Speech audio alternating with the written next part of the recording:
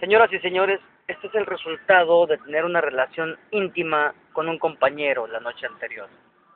Creo que fue con Aldo Rodríguez. ¿Está usted de acuerdo? ¿Es correcto?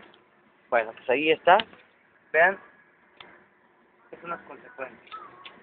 ¿A qué Es exclusiva.